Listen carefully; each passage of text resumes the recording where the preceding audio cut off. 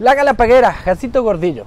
Um, Galapago means tortoise. This is what the name is coming from. La Galapaguera refers to a breeding center located on San Cristobal Island. Different Galapagueras in different populated islands.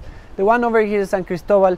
It's a few kilometers from town, from Puerto Baquerizo Moreno, Baquerizo Moreno Port on San Cristobal Island and it's a very nice visitor place. It's a, it's a site where you can get to see species of uh, tortoises that correspond to uh, San Cristobal Island that are undergoing this breeding program.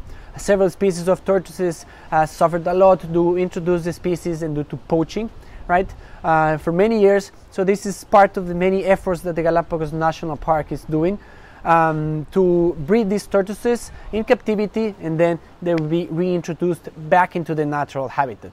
Uh, La Galapaguera Jacinto Gordillo as well would be a very nice site for observing uh, vegetation that corresponds to a different uh, zone, right?